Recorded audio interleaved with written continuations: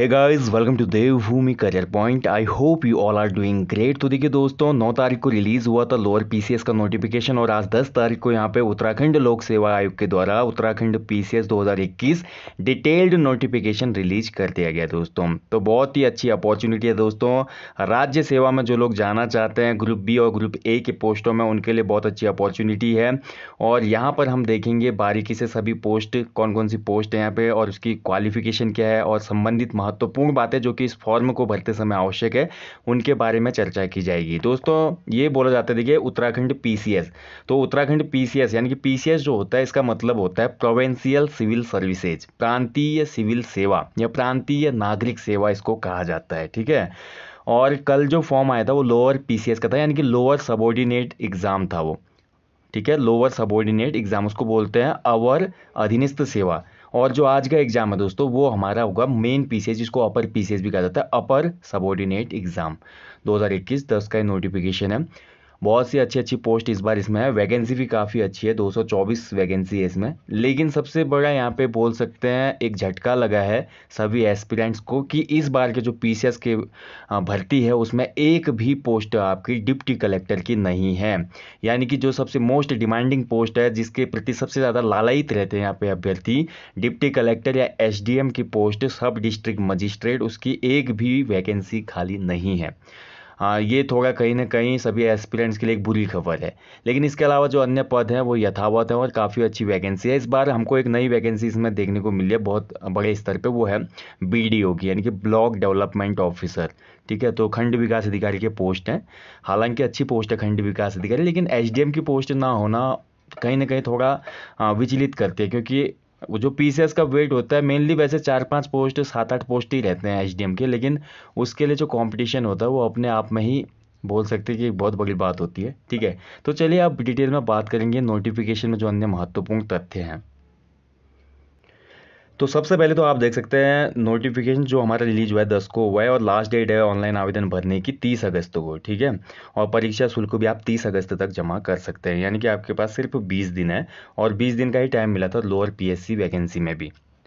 अब यहाँ पर देखिए, बहुत ही महत्वपूर्ण निर्देश दिए गए हैं दोस्तों। यहाँ पर हमारा आयोग बोलता है कि आपका आवेदन पत्र भरना उतना ही महत्वपूर्ण है जितना कि आपका सिलेक्शन जितने की वो जॉब आपके लिए महत्वपूर्ण है।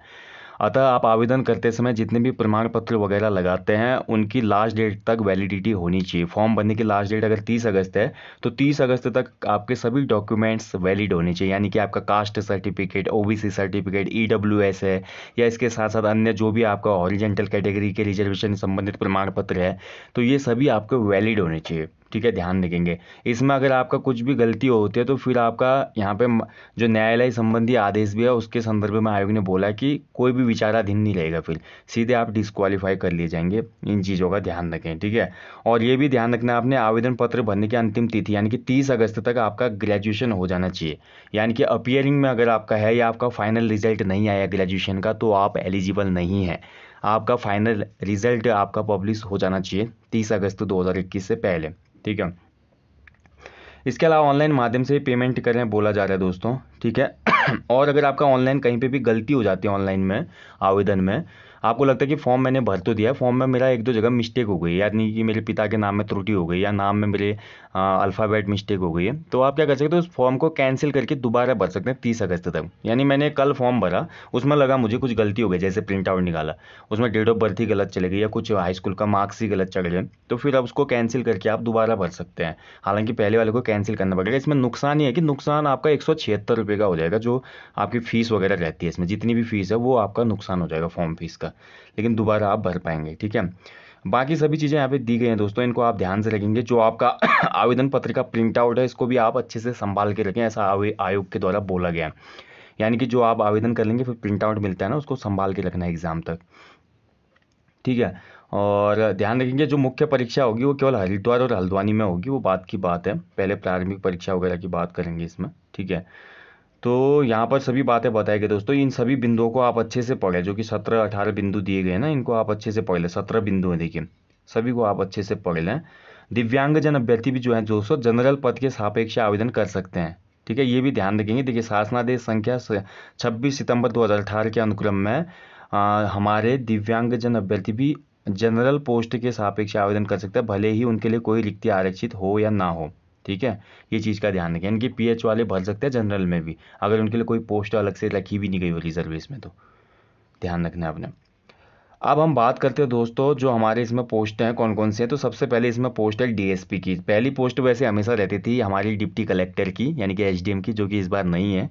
बड़ा ही दुख हो रहा है देखकर। लेकिन पुलिस जो उपाधीक्षक होता है, ये भी अच्छी पोस्ट है। यानी कि डीएसपी की यहाँ पे बात हो रही है। डिप्टी जो बोलते हैं ना एसपी तो ये भी अच्छी पोस्ट है लेवल दस की पोस्ट है। टोटल जो वैकेंसी है, दस हैं, कम है इस बार, पिछली बार सत्रह वैकेंसी थी।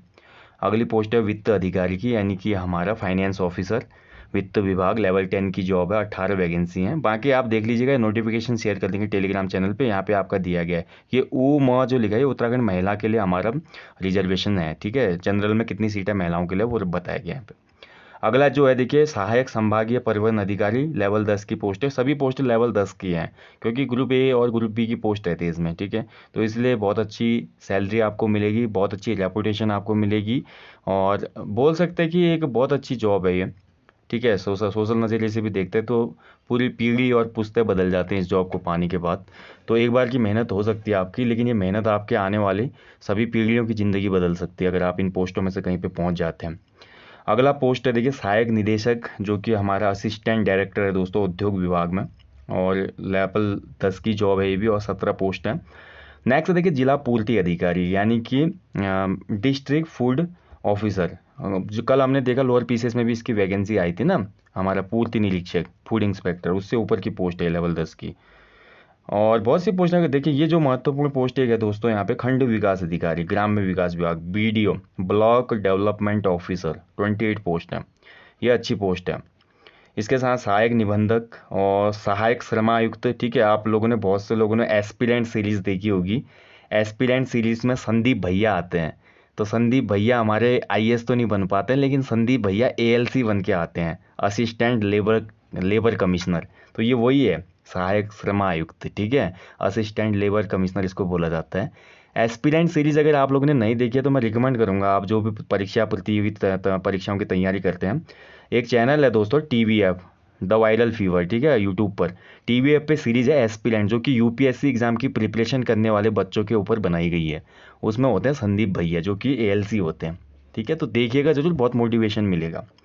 अगला देखिए, सहायक निदेशक हमारा है जो उसकी लेवल टेन की पोस्ट है दोस्तों, श्रम विभाग में। सहायक गन्ना आयुक्त यानी कि असिस्टेंट शुगर केन कमिश्नर ये लेवल दस की पोस्ट है हमारे, गन्ना और चीनी उद्योग जो होता है उसमें। उसके बाद ये पोस्ट भी काफ़ी अच्छी है दोस्तों, उप शिक्षा अधिकारी स्टाफ ऑफिसर प्रारंभिक शिक्षा, ठीक है? तो इसमें बहुत सी पोस्ट है हमारी, इकतीस पोस्ट हैं लेवल दस की हैं भी। सहायक निदेशक, पशुपालन विभाग में, सहायक निदेशक मत्स्य फिशरीज ठीक है, तीन पोस्ट है। हालाँकि कुछ पोस्टों में स्पेशल स्ट्रीम मांगा गया है ग्रेजुएशन में और बहुत सी पोस्टों में प्लेन ग्रेजुएशन है, ठीक है? और जिला पर्यटन विकास अधिकारी, प्रचार अधिकारी, पर्यटन विभाग, इसके साथ साथ देखिए सहायक निदेशक सांख्यिकी और सहायक निदेशक कृषि भूमि संरक्षण अधिकारी, ठीक है? बहुत सी कम पोस्ट हैं, इक्का दुक्का पोस्ट हैं। और इसके साथ साथ देखिए सहायक निदेशक हमारा और रसायन में भी है। इसके बाद खाद्य प्रसंस्करण अधिकारी भी अच्छी पोस्ट है दोस्तों, तीन पोस्ट है। उद्यान विकास अधिकारी, बहुत महत्वपूर्ण पोस्ट है दोस्तों, बीस पोस्ट है इसमें, लेवल दस की पोस्ट है। देखिए, उद्यान विकास अधिकारी, ठीक है, अच्छी पोस्ट है अगला देखिए, मशरूम विकास अधिकारी, पौध सुरक्षा अधिकारी और सहायक निदेशक रसायन, वनस्पति विज्ञान सहायक निदेशक, ठीक है तो ये बहुत से, जिला सूचना अधिकारी, अगली पोस्ट, बहुत अच्छी पोस्ट है भी, ठीक है, जिला सूचना अधिकारी। अगर हम इस पोस्ट की बात करें दोस्तों तो सूचना एवं लोक संपर्क विभाग में पोस्ट रहती है और बहुत अच्छी पोस्ट है ये, लेकिन लेवल सात की पोस्ट है इस चीज़ का ध्यान रखना है, जिला सूचना अधिकारी। अगला देखिए, परिवहन कर अधिकारी लेवल सेवन की पोस्ट है और लास्ट इसमें बाल विकास परियोजना अधिकारी दोस्तों, महिला सशक्तिकरण और बाल विकास विभाग में। परिवहन कर अधिकारी की जो यहाँ पर सैलरी है वो लेवल सात की पोस्ट है और बाल विकास परियोजना अधिकारी लेवल छः की पोस्ट है। सबसे कम यहाँ पे जो पे ग्रेड वाली पोस्ट है, वो हमारी यही है, बाल विकास परियोजना अधिकारी। ठीक है तो टोटल 224 पोस्ट है यहाँ पे। जैसा कि आप देख सकते हैं, एक सौ उनतीस पोस्ट जनरल के लिए हैं। बाकी अदर अदर कैटेगरीज में आप देख सकते हैं। रिक्तियों की संख्या 224 है, घटाई और बढ़ाई जा सकती है। घटती तो कमी है लेकिन बढ़ जो जाती हैं कभी कभी ठीक है कभी कभी घट भी जाती हैं। अब बात करते हैं क्वालिफिकेशन की, जो कि बहुत महत्वपूर्ण है। इन चीज़ों को ध्यान रखना आपने, ठीक है? सभी पोस्टें यहाँ पे देखिए, बताया गया, कुछ पोस्टों को छोड़कर बाकी, क्रमांक सोलह प्रचार अधिकारी, क्रमांक पंद्रह जिला पर्यटन अधिकारी, ठीक है? और इसके साथ साथ क्रमांक चौदह सहायक निदेशक संस्कृत माफ़ कीजिएगा ये नहीं शेष क्रमांक एक से तेरह और सत्रह से इकतीस तक के पद जो हैं, सभी गजेस्टेड हैं। कुछ पदों को छोड़कर, क्रमांक सोलह और पंद्रह वगैरह छोड़ के बाकी जितने भी पद हैं दोस्तों, वो सभी गजेस्टेड ऑफिसर यानी कि आप राजपत्रित अधिकारी होंगे, ठीक है? पहली जो पोस्ट है देखिए डीएसपी डीएसपी बनने के लिए आपका ग्रेजुएशन चाहिए। अधिमानी अर्हता का कोई मतलब नहीं ठीक है? बहुत से लोगों का व्हाट्सअप पे मैसेज की बाढ़ आ गई है मेरे को कि अधिमानी अर्हता दिए हम फॉर्म कैसे भरेंगे? अधिमानी अहता का मतलब ये होता है अगर पा, आपके पास ये क्वालिफिकेशन है तो सेम स्कोर करने पर आपको यहाँ पर वेटेज दिया जाएगा समझे? आपकी जो इसमें क्वालिफिकेशन मांगी गई वो केवल ग्रेजुएशन है। अधिमानी अर्हता का मतलब केवल वहाँ पे होता है, जहाँ पे आपका टाई हो जाता है फाइनल सिलेक्शन में। जैसे मान लीजिए 1750 का हमारा टोटल यहाँ पे फाइनल जो बनता है रिज़ल्ट बनता है, या जितने का भी उत्तराखंड पीसीएस में रिज़ल्ट बनता है उसमें मान लीजिए मैंने 1200 नंबर गेन किए। और एक जनरल वाले बंदे की भी 1200 नंबर है। मेरे 1200 हैं और जनरल वाले बंदे की भी 1200 हैं। और उसकी डेट ऑफ़ बर्थ और मेरी डेट ऑफ़ बर्थ सेम है, समान है। तो यहाँ पर देखिए, इसमें ये भी नहीं बोला था कि समान डेट ऑफ़ बर्थ वैसे होता है एज का ज्येष्ठ क्रम वाले को पहले यहाँ पर मौका मिलता है। और मान लीजिए कि हमारे सेम डेट ऑफ़ बर्थ भी है सेम नंबर भी है। तो यहाँ पर अगर मेरे पास देखिए, प्रादेशिक सेना में दो वर्ष का अनुभव है और जो दूसरा कैंडिडेट उसके पास नहीं है तो मेरा सिलेक्शन होगा। या मेरे पास एन सी बी सर्टिफिकेट है, दूसरे वाले के पास नहीं है तो मेरा सिलेक्शन होगा। अधिमानी अहलता मेरे को मिलेगी।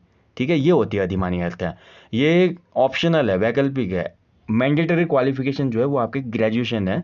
डीएसपी एचडीएम जितने भी हमारे पीसीएस लेवल की प्लेन सर्विस होती हैं। जो हमारे टेक्निकल सर्विस में हम चले जाते हैं, जैसे कि जैसे हम देख रहे हैं अभी जो रसायन वाला देख रहे थे हम, प्रबंधन निदेशक वगैरह, या पर्यटन अधिकारी देखेंगे, या सूचना अधिकारी जो हम देख रहे थे, संपर्क और सूचना अधिकारी, उसमें स्पेशल स्ट्रीम में आपका ग्रेजुएशन मांगा होता है, ठीक है? वो अभी डिस्कस कर लेंगे हम आगे। अगला है, देखिए, वित्त अधिकारी, वित्त विभाग। तो इसमें भी आपका दोस्तों केवल ग्रेजुएशन चाहिए, ठीक है? और कुछ नहीं चाहिए इसमें। सहायक संभागीय परिवहन अधिकारी, इसमें भी आपका केवल ग्रेजुएशन चाहिए और कुछ नहीं चाहिए। सहायक निदेशक, उद्योग प्रबंधक तो यहाँ पे हमारा चाहिए केवल ग्रेजुएशन और कुछ नहीं चाहिए। किसी भी स्ट्रीम से ग्रेजुएट हो, आप B A B com B S C B tech ठीक है, कोई भी आपका ग्रेजुएशन होना चाहिए, बस हो गया। किसी भी स्ट्रीम से आपका बैचलर इन होटल मैनेजमेंट क्यों ना हो, आपका बैचलर इन नर्सिंग क्यों ना हो, ठीक है तो मतलब बीएससी नर्सिंग क्यों ना हो, सभी चीज़ें चलेंगी, आपकी बैचलर डिग्री भी। जिला पूर्ति अधिकारी तो डिस्ट्रिक्ट फ़ूड ऑफिसर इसके लिए भी आपका दोस्तों केवल ग्रेजुएशन ठीक है? और इसके बाद देखिए उप संभागीय विपणन अधिकारी तो इसमें आपका देखिए ग्रेजुएशन होना चाहिए और इसके साथ साथ हिंदी लिपि में ज्ञान भी होना चाहिए बोल रहे हैं थोड़ा बहुत, ठीक है? BDO की बात करें तो ब्लॉक डेवलपमेंट ऑफिसर खंड विकास अधिकारी तो केवल ग्रेजुएशन होना चाहिए प्लेन ग्रेजुएशन और कुछ नहीं मांगा गया है। सहायक निबंधक की बात करते तो केवल यहाँ पर भी आपका ग्रेजुएशन मांगा गया है, सहकारिता गन्ना चीनी विभाग में। आपका एएलसी की बात करते हैं असिस्टेंट लेबर कमिश्नर तो ये दोस्तों हमारा, इसमें देखिए, विधि द्वारा स्थापित किसी विश्वविद्यालय, यहाँ पे देखिए क्वालिफिकेशन बदल गई है थोड़ा सहायक श्रम आयुक्त के पद हेतु अभ्यर्थी के पास भारत में विधि द्वारा स्थापित किसी विश्वविद्यालय से अर्थशास्त्र समाजशास्त्र, वाणिज्य विधि, श्रम संबंध, श्रम कल्याण, श्रम विधि, समाज कार्य या अन्य विषयों में से किसी एक विषय के साथ स्नातक होना चाहिए। या तो आपको ग्रेजुएशन में इकोनॉमिक्स एक सब्जेक्ट रहा हो या आपका सोशोलॉजी रहा हो या आपका कॉमर्स रहा हो या आपका एलएलबी रहा हो लॉ किया हो आपने तो इनमें से कोई भी एक सब्जेक्ट ग्रेजुएशन में था तो आप इस फॉर्म को भर सकते हैं, ठीक है? अगला देखिए, सहायक निदेशक कारखाना तो यहाँ पर दोस्तों आपका केवल यहाँ पे भी दोस्तों मैकेनिकल या इलेक्ट्रिकल में स्नातक उपाधि मांगी गई है, ठीक है? प्लेन ग्रेजुएशन नहीं है। तो जो हमारा असिस्टेंट डायरेक्टर है कारखाना बॉयलर श्रम विभाग में, इसके लिए आपका बी टेक होना चाहिए दोस्तों, ठीक है? बी टेक मैकेनिकल या इलेक्ट्रिकल या बी ई होना चाहिए बैचलर इन इंजीनियरिंग इलेक्ट्रिकल और मैकेनिकल अगला देखिए, सहायक गन्ना आयुक्त दोस्तों तो इसके लिए आपका कृषि में स्नातक होना चाहिए, यहाँ पे भी प्लेन ग्रेजुएट के लिए नहीं है, केवल आपका एग्रीकल्चर में ग्रेजुएशन होना चाहिए इस पोस्ट के लिए, गन्ना विकास और चीनी उद्योग के लिए। अगली पोस्ट है, देखिए उप शिक्षा अधिकारी स्टाफ ऑफिसर तो इसके लिए आपका, देखिए, भारत में स्थापित किसी विश्वविद्यालय से परा स्नातक उपाधि होनी चाहिए। यानी कि आपका पोस्ट ग्रेजुएशन होना चाहिए इसके लिए, ठीक है? परा स्नातक का मतलब होता है मास्टर्स या पोस्ट ग्रेजुएशन डिग्री तो आपका पोस्ट ग्रेजुएशन होना चाहिए किसी भी स्ट्रीम से, लेकिन अधिमानी अहर्ता मिलेगी अगर किसी ने बी वगैरह किया हो तो। तो जिन लोगों का पीजी कंप्लीट है, वो इस फॉर्म को भर सकते हैं, ठीक है? चलिए बढ़ते हैं अगले क्वेश्चन अगले, माफ़ कीजिएगा क्वेश्चन का मतलब अगला जो पॉइंट है उसकी तरफ़ बढ़ते हैं। सहायक निदेशक मत्स्य पशुपालन विभाग तो इसमें आपका दोस्तों मत्स्य पालन में विशेषज्ञता के साथ प्राणी प्राणी विज्ञान में एमएससी होना चाहिए, ठीक है? या तो आपका गोविंद वल्लभ पंत कृषि विश्वविद्यालय से आपका मत्स्य की विज्ञान, जो फिशरीज की फिशरीज में ग्रेजुएशन होता है ना, वो आपके पास है तो आप भर सकते हैं, ठीक है? इनमें से क्वालिफिकेशन होनी चाहिए आपके पास। सहायक निदेशक संस्कृत शिक्षा विभाग तो भारत में विधि द्वारा स्थापित विश्वविद्यालय से प्राच्य भाषा संस्कृत में आचार्य होना चाहिए। आचार्य का मतलब होता है एमए संस्कृत में एमए की डिग्री होनी चाहिए आपके पास। ठीक है, यहाँ पे केवल आचार्य मांगा गया है तो आचार्य की ही। या भारत में विधि द्वारा स्थापित विश्वविद्यालय से शास्त्री बी की उपाधि भी होनी चाहिए, इसको वरीयता मिलेगी, ऐसा इसमें बोला गया है। अगला है, देखिए, जिला पर्यटन अधिकारी, पर्यटन विभाग।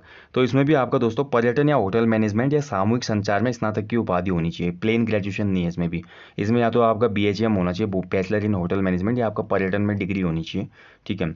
अगला प्रचार अधिकारी, पर्यटन विभाग है तो इसमें भी आपका दोस्तों प्रचार अधिकारी है तो साफ़ पता चल रहा है, इसमें आपका जनसर्क जनसंपर्क पत्रकारिता या सामूहिक संचार में क्या होना चाहिए? स्नातक होना चाहिए। यानी कि आपका जो बोलते हैं ना हमारा वो कम्युनिकेशन वाला जो ग्रेजुएशन होता है तो वो आपका होना चाहिए। ठीक है? मास कम्युनिकेशन जिसको हम बोलते हैं तो इसमें ग्रेजुएशन चाहिए आपका। अगला देखिए, सहायक निदेशक कृषि वगैरह तो यहाँ पर दोस्तों इसमें भी कृषि की आपको डिग्री चाहिए। सहायक निदेशक सांख्यिकी में आपका देखिए, गणित से या तो आप होने चाहिए ग्रेजुएट ठीक है? आपका सांख्यिकी कोर्स होना चाहिए कोई। इसके बाद बात करते हैं सहायक निदेशक कृषि एवं भूमि संरक्षण अधिकारी। तो इसमें आपका कृषि अभियंत्रण में स्नातक होना चाहिए। कृषि अभियंत्रण मतलब कृषि इंजीनियरिंग में आपका यहाँ पे स्नातक होना चाहिए, ठीक है? सहायक निदेशक रसायन की बात करते हैं तो आपका कृषि रसायन विज्ञान, मृदा विज्ञान या मृदा संरक्षण में स्नाकोत्तर उपाधि चाहिए इसमें भी। सहायक निदेशक उद्यान में आपका दोस्तों, किसी मान्यता प्राप्त विश्वविद्यालय से विज्ञान विषय में स्नाकोत्तर कृषि, यानी कि आपका एग्रीकल्चर में पीजी होना चाहिए पोस्ट ग्रेजुएशन या एमएससी होनी चाहिए कृषि, ठीक है? या आपका विज्ञान स्नाकोत्तर होना चाहिए एमएससी वगैरह, ठीक है? ध्यान रखना है। ये तीन में से अगर आपके पास कोई भी डिग्री है तो आप भर सकते हैं इसको।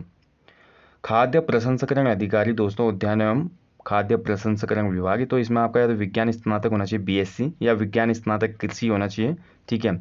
और इसके साथ साथ आपका या किसी संस्थान से आपका पंद्रह मास का स्नाकोत्तर डिप्लोमा पाठ्यक्रम हो, डब्बाबंद वाले जो हमारे होते हैं ना, फल परिरक्षण डिब्बाबंद संस्थान जो हमारा है, लखनऊ वाला तो ये या या जो दिए हैं, इनमें से एक आपके पास क्वालिफिकेशन नहीं चाहिए। और का मतलब ये होता है कि जहाँ पे और लगा है तो उसके बाद की जो भी क्वालिफिकेशन है, उनमें से एक क्वालिफिकेशन कम से कम आपके पास होनी चाहिए फॉर्म भरने के लिए, ठीक है? ये होता है इसका मतलब। उद्यान विकास अधिकारी, दोस्तों, आपका इसमें आपका विज्ञान, देखिए किसी विश्वविद्यालय से उद्यान में विज्ञान स्नातक होना चाहिए। कृषि बीएससी कृषि या उद्यान विषय में समकक्ष उपाधि होनी चाहिए इसमें। पौध सुरक्षा अधिकारी में दोस्तों, इसमें भी विज्ञान स्नाकोत्तर कृषि होनी चाहिए या एमएससी कृषि होनी चाहिए या विज्ञान स्नाकोत्तर एमएससी होनी चाहिए। मशरूम विकास अधिकारी सेम इसमें भी क्वालिफिकेशन है। ठीक है, ज़्यादातर साइंस वाली पोस्ट आपको देखने को मिल रही है। इसके साथ साथ सहायक निदेशक, रसायन में भी दोस्तों आपका स्नाकोत्तर होना चाहिए एग्रीकल्चर या आपका एमएससी होनी चाहिए। और निदेशक वनस्पति विज्ञान में भी आपका स्नाकोत्तर कृषि या एमएससी कृषि या विज्ञान स्नाकोत्तर। देखिए, विज्ञान स्नाकोत्तर एमएससी का मतलब यह है कि किसी एक विषय से संबंधित, ठीक है? जैसे कि जूलॉजी, बॉटनी वाले भी इसको भर सकते हैं, जो कि एमएससी है। सांख्यिकी अधिकारी का मतलब है, यहाँ पे आपका गणित या सांख्यिकी विषय के साथ आपका कम से कम ग्रेजुएशन होना चाहिए। सूचना अधिकारी, जिला सूचना अधिकारी, लोक संपर्क विभाग में दोस्तों तो इसमें आपका किसी भी विषय में स्नातक उपाधि होनी चाहिए, कोई दिक्कत नहीं है इसमें, ठीक है? किसी भी सब्जेक्ट में आपका यहाँ पे क्या होना चाहिए? ग्रेजुएशन होना चाहिए, किसी भी स्ट्रीम से कोई प्रॉब्लम नहीं है इसमें। या आपका देखिए, अथवा जो दिया देखिए, भारत में विधि द्वारा स्थापित किसी विश्वविद्यालय से पत्रकारिता में स्नातक उपाधि। अगर आपका मास कम्युनिकेशन है बी मास कम्युनिकेशन तो फिर उसमें भी आप अप्लाई कर सकते हैं। अगला देखिए, परिवहन कर अधिकारी एक पोस्ट है तो यहाँ पर भी केवल आपका ग्रेजुएशन होना चाहिए, साथ ही देवनागरी लिपि का पूरा ज्ञान होना चाहिए, हिंदी का। बाल विकास परियोजना अधिकारी दोस्तों। तो बाल विकास परियोजना अधिकारी में देखिए, भारत में विधि द्वारा स्थापित किसी विश्वविद्यालय से समाज कार्य या समाज शास्त्र या गृह विज्ञान में स्नातक उपाधि होनी चाहिए, ठीक है? तो किसी एक सब्जेक्ट तो होना चाहिए, आपका ग्रेजुएशन किया तो आपका या तो सोशोलॉजी होनी चाहिए ग्रेजुएशन में या गृह विज्ञान में स्नातक उपाधि होनी चाहिए, ठीक है? तो यहाँ पर ये पूरी क्वालिफिकेशन है दोस्तों, जैसे कि आप देख पा रहे हैं। बाकी आपका जो एक पोस्ट है डीएसपी की तो डीएसपी वाले पोस्ट में दोस्तों आपका फ़िज़िकल मेज़रमेंट भी रहेगा। जिसमें आपके पुरुष अभ्यर्थियों की ऊंचाई, महिला अभ्यर्थियों की ऊंचाई और इसके साथ साथ पुरुष अभ्यर्थियों की सीने की माप और फुलाने पे माप ये मापी मांगी जाती है और महिलाओं के लिए न्यूनतम वज़न मांगा जाता है इसमें पैंतालीस किलोग्राम। ठीक है, बाकी आपका मेडिकल फिट होना चाहिए, आँखें छः बाई छः होनी चाहिए और छः बाई नौ से कम दृष्टि तो नहीं होनी चाहिए। ठीक है, ध्यान रखेंगे। और इसके साथ साथ देखिए दोस्तों, वारांधता भैंगापन से पूर्ण रूप से मुक्त होना चाहिए, यानी कि कलर ब्लाइंडनेस नहीं होना चाहिए। साथ ही अभ्यर्थी का जो हमारा सटा घुटना सफाट पैर बोल एग वेरिकोस में हकलाना, विकलांगता या अन्य विकृतियाँ होती हैं तो वो डीएसपी पोस्ट के लिए अनएलिजिबल माने जाएँगे, ठीक है? वो अयोग्य माने जाएँगे यहाँ पे। आयु मानी इसमें तो आयु की गणना एक जुलाई 2021 को है दोस्तों। एक जुलाई 2021 को आयु की काउंटिंग होगी। मिनिमम एज 21 ईयर्स है और मैक्सिमम एज 42 ईयर्स है, लेकिन एक साल का रिलैक्सेशन दिया गया गवर्नमेंट के द्वारा तो 43 वाले भी इस फॉर्म को भर सकते हैं। यानी कि एक जुलाई 2021 तक जिनको तैंतालीस साल भी हो रहे तो वो इनको इस फॉर्म को भर सकते हैं। ठीक है? और इसके बाद बात करते हैं, देखिए, अधिकतम आयु सीमा में छूट अलग अलग कैटेगरी को अलग अलग है, वो तो आप सभी को पता ही S C S T O B C पाँच साल की है। बाकी पूर्व सैनिक की जो सेवा है, उसको घटाया जाता है। अब हम सीधे आ जाते हैं दोस्तों, शारीरिक स्वस्थता में। देखिए, शारीरिक स्वस्थता में ये बोला गया है कि किसी भी अभ्यर्थी को सेवा में किसी पद पर नियुक्त नहीं किया जाएगा वह यदि वह शारीरिक, मानसिक रूप से स्वस्थ नहीं होते हैं राजपत्रित पद या सेवा के मामले में चिकित्सा परिषद की परीक्षा उत्तीर्ण करनी होगी। ठीक है, ये आपको याद रखना। मेडिकल बनाना तो पड़ेगा हर पोस्ट के लिए आपको सीएमओ से डिस्ट्रिक्ट हॉस्पिटल से बनता है इसमें। अब बात करते हैं दोस्तों, जो फ़ीस है फ़ीस वगैरह की बात कर लेते हैं हमारे, ठीक है? देखिए, कुछ क्वेश्चन ये भी आए थे मेरे को कि बच्चों का मैसेज आया था कि हम जैसे हमारे माता पिता नहीं, हम ऑर्फन हैं तो हम क्या कर सकते हैं, कैसे प्रमाण पत्र बनेगा? तो इसके लिए मैं आपको बताना चाहता हूँ कि आप लोग अपनी तहसील में जाएँ और तहसील में इस संबंध में जानकारी प्राप्त करें कि उत्तराखंड में अनाथ बच्चों के लिए जो प्रमाण पत्र बनता है, उसकी क्या प्रोसेस है, ठीक है? वहाँ पर बता दिया जाएगा आपको तो उन, जो भी उसमें प्रोसीजर होगा, उसको फॉलो करेंगे, आपका प्रमाण पत्र तैयार हो जाएगा। फ़ीस की बात करते हैं दोस्तों तो फ़ीस है जनरल के लिए एक सौ छिहत्तर रुपये और ओबीसी के लिए भी सेम है। उत्तराखंड एस सी के लिए एटी सिक्स और ई डब्ल्यू एस के लिए वन सेवेंटी सिक्स और जो हमारे पी एच कैंडिडेट हैं, उनके लिए मात्र ट्वेंटी सिक्स है और उत्तराखंड राज्य के जो हमारे ऑर्फन किट्स हैं, उनके लिए यहाँ पे कोई भी शुल्क नहीं है, ठीक है? तो ये हमारा निःशुल्क है इनकी फ़ीस। इसके बाद देखिए दोस्तों, यहाँ पे हम बात करते हैं जो हमारी प्रारंभिक परीक्षा है अब इसकी थोड़ा परीक्षा की बात भी करते हैं। जैसा मैंने लोअर पीसीएस में बताया था ना, आपको लोअर पीसीएस में आपका देखिए, तीन स्टेप में परीक्षा हुई थी, वैसे तीन स्टेप में इसका भी है। पहला स्टेप है प्रारंभिक परीक्षा, दूसरा स्टेप है मुख्य परीक्षा, तीसरा स्टेप है इंटरव्यू ठीक है? तो यहाँ पर प्रारंभिक परीक्षा केवल छटनी के लिए होती है क्वालिफाइंग होती है मेंस और इंटरव्यू के नंबर जुड़ के ही आपकी फाइनल मेरिट बनती है। ठीक है तो प्रारंभिक परीक्षा में देखिए, एक बार, इस बार एक अच्छी न्यूज़ है। पहले क्या होता था, उत्तराखंड पीसीएस में सी सेट भी हमारा जुड़ता था। हमारा 150 नंबर का तो जीएस का पेपर आता था और 150 नंबर का हमारा सी सेट का पेपर आता था। तो ये सी सेट के मार्क्स भी जुड़ते थे पहले, ठीक है? लेकिन इस बार देखिए हमारा क्या कर दिया गया है, प्रारंभिक परीक्षा में द्वितीय प्रश्न पत्र जो होगा, जिसमें रीजनिंग और मैथ्स वगैरह आती है, वो केवल क्वालिफाइंग नेचर का होगा और उसमें अभ्यर्थी को न्यूनतम थर्टी थ्री परसेंट अंक लाना अनिवार्य होगा, ठीक है? यानी कि तैंतीस प्रतिशत अंक लाना आपको इसमें अनिवार्य हो जाएगा। तो ये हमारी कंडीशन है इसमें, बहुत अच्छा कर दिया। नहीं तो ये और ये दोनों काउंट हो गए, फिर फाइनल कट ऑफ़ बनती थी मेंस के लिए। उसमें थोड़ा दिक्कत आती थी, जिनकी मैथ रीजनिंग कमज़ोर थी। लेकिन अब यहाँ पे क्वालिफाइंग कर दिया तो अब आपको जीएस और जो हमारे अदर जो भी इसमें सिलेबस है, जैसे करंट अफेयर है, उत्तराखंड करंट अफेयर है, उत्तराखंड जीएस है जनरल साइंस है, और विज्ञान प्रौद्योगिकी जो हमारी बनती है क्वेश्चन बनते हैं इंफॉर्मेशन टेक्नोलॉजी से क्वेश्चन बनेंगे। तो यहाँ पे कहीं ना कहीं कंपटीशन बहुत हाई देखने को मिलेगा अब, ठीक है? क्योंकि अब जो सेकंड पेपर है, वो भी क्वालिफाइंग कर दिया है। वन बाई फोर की नेगेटिव मार्किंग रहती है इसमें, ठीक है? ध्यान रखेंगे। इसके बाद जैसे आप प्री क्वालिफाई करते हैं तो फिर आपके मेंस एग्ज़ाम होंगे दोस्तों। तो प्रारंभिक परीक्षा में देखिए क्वालिफाई होने के बाद, और बहुत से लोग पूछते हैं कि देखिए, प्रारंभिक परीक्षा के बाद कितने गुना अभ्यर्थियों को बुला जाता है? तो जितनी वैकेंसी है 224 है ना? तो इस वैकेंसी के सापेक्ष 16 गुना अभ्यर्थी बुलाए जाते हैं मुख्य परीक्षा के लिए। इतने लोगों को क्वालिफाई किया जाता है, ठीक है? सोलह टाइम्स सिक्सटीन टाइम्स तो ऐसे घबराने की बात नहीं, आप अच्छे से थोड़ा भी मेहनत करेंगे तो आप अच्छे से निकल जाएँगे, ठीक है? जो प्री पेपर है, उसको क्वालिफाई कर लेंगे। आप देखिए, इसमें जो इंटरव्यू भी होता है इंटरव्यू भी महत्वपूर्ण है। अब मैं इस पर पूरा एक अलग से वीडियो बना दूँगा, जो इसकी प्री कैसे होता है मेंस कैसा होता है और इंटरव्यू और साथ ही बुक्स वगैरह कौन सी इसमें यूज़ करनी चाहिए। इस पर नेक्स्ट वीडियो बना देंगे हम, ठीक है? अब दूसरी बात करते हैं दोस्तों, जो फॉर्म भरना है, देखिए फॉर्म भरने के लिए मैं आपको बताना चाहता हूँ, आपको ऑफिशियल वेबसाइट पर जाना है U K P S C dot G O V dot in पर ओ टी आर बनाने की भी आवश्यकता नहीं पड़ेगी अगर मैंने लोअर पी सी एस का फॉर्म देखा था तो वहाँ पर डायरेक्ट आपका अप्लाई हो जा रहा था। तो ओ टी आर की शायद आवश्यकता नहीं है, लेकिन फिर भी फॉर्म भरते समय सभी जितनी भी जानकारी आप एंटर करेंगे, उनका ध्यान रखें। किसी भी जानकारी में कोई भी त्रुटि नहीं होनी चाहिए, क्योंकि एक छोटी सी त्रुटि भी आपकी इतनी बड़ी मेहनत को ख़राब कर सकती है। एक गलती होगी, इतना मेहनत किया, प्री एग्ज़ाम दिया, मेंस दिया, इंटरव्यू तक पहुँचे और सिलेक्शन हुआ। फाइनली आप डॉक्यूमेंट वेरिफिकेशन में बाहर हो गए कुछ गलती के कारण। इसलिए फॉर्म भरने के बाद दस बार चेक करें। और गलती लगती है तो दोबारा कैंसिल करके दोबारा भर लें। तीस अगस्त तक कितनी भी बार फॉर्म गलती होती है और दोबारा भर सकते हैं, कोई दिक्कत नहीं है। हालाँकि आपका पैसा बर्बाद होगा जो फॉर्म फ़ीस है, ठीक है? लेकिन गलती से, दुर्घटना से देर भली बोलते हैं ना तो अच्छे से आपने देखना है उसको, ठीक है?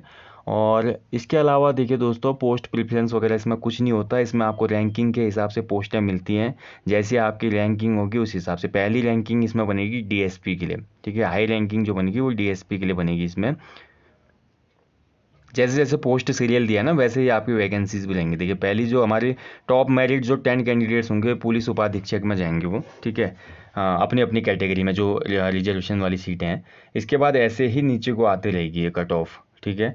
वैसे उत्तराखंड में अगर अगर डिप्टी कलेक्टर के पोस्ट होते हैं तो सबसे टॉप मेरिट जाती है एच पोस्ट के लिए। जैसे आप यूपीएससी में देखते हैं ना, सबसे ज़्यादा जो यूपीएससी में टॉप कट ऑफ़ जाती है वो आई के लिए जाती है। टॉप रैंक वाले आई बनते हैं। ठीक है? फिर नीचे नीचे आई वगैरह, फिर आईएफएस वगैरह आईआरएस वगैरह तो ऐसे सर्विस अलॉट होती हैं। सेम चीज़ इसमें भी है और सेम लेवल का एग्ज़ाम भी है। और बिल्कुल हल्के में नहीं लेना है इसमें आपका, ठीक है? बहुत इसमें मेहनत की आवश्यकता है और बहुत जटिल परीक्षा है। इसको आप ग्रुप सी या अन्य एग्ज़ाम्स की तरह हल्के में नहीं ले सकते। लोअर पीसीएस तो बहुत इसके मुकाबले सरल है, क्योंकि लोअर पीसीएस में मुख्य परीक्षा में एक ही पेपर है आपका। एक भाषा का है और एक आपको जीएस का लिखना है, लेकिन इसमें आपको सात पेपर लिखने हैं। तो ये पेपर जो है मुख्य परीक्षा इसकी बहुत जटिल है। उसके साथ साथ आपका 200 मार्क्स का इसमें इंटरव्यू होता है। ठीक है? तो कुल मिलाकर उत्तराखंड पीसीएस का ये पूरा यहाँ पे आप देख सकते हैं। इसमें जो सिलेक्शन प्रोसीजर है, कैसे? और ध्यान रखेंगे दोस्तों फॉर्म भरने से पहले मैं फिर आपको बता रहा हूँ, जो इसमें पहले से लेकर सत्रह पॉइंट दिए गए ना, इन पॉइंटों को ध्यान से पढ़ें आप, क्योंकि इन पॉइंटों में बहुत महत्वपूर्ण जानकारी बताई गई है आयोग के द्वारा क्या क्या चीज़ें आपने करनी है और क्या चीज़ें इसमें रहनी है, और कौन कौन सी चीज़ों पर आपने बिल्कुल ध्यान देना है फॉर्म भरते समय, ठीक है? और इसके अलावा भी कोई डाउट क्वेरी होगा फॉर्म भरने के संबंध में तो आप मुझे मैसेज कर सकते हैं। और कमेंट बॉक्स में भी पूछ सकते हैं। जल्दी ही एक वीडियो आएगी दोस्तों, लोअर पीसीएस में कौन सी बुक्स वगैरह का रिफरेंस लें, किन किताबों से तैयारी करें लोअर पीसीएस के लिए। और वैसे ही हम बात करेंगे जो ये अपर पीसीएस है, इसका सिलेबस क्या है किन किन किताबों से आपको तैयारी करना चाहिए और कैसे करनी चाहिए, इस वीडियो का इंतज़ार करें। So thank you for watching guide जल्दी मिलेंगे नेक्स्ट टॉपिक में। तब तक आप लोग अपने अच्छे से स्टडी करें, अपना ध्यान रखें और मोटिवेटेड रहें। जैसे अभी फॉर्म आते समय हम मोटिवेटेड रहते हैं ना, कि नई वैकेंसी आ गई तो बिल्कुल एक एनर्जी का संचार हो जाता है। इस एनर्जी को आपने मेनटेन रखना पड़ता है फाइनल सेलेक्शन तक। तब जाके सेलेक्शन होता है। ठीक है। दो चार दिन तक तो खूब उलझा रही फॉर्म आया, नई वैकेंसी आ गई, हल्ला उल्ला मचाया उसके बाद फिर ठंडे पड़ गए ऐसे सिलेक्शन नहीं होता। इस एनर्जी का जो स्तर है ना, वो आपने बरकरार रखना होगा सिलेक्शन तक। तो फिर आपको कोई ताकत नहीं रोक सकती दुनिया की। ठीक है? चलिए मिलेंगे जल्दी। ध्यान रखिएगा अपना। जय हिंद, जय उत्तराखंड। Take care bye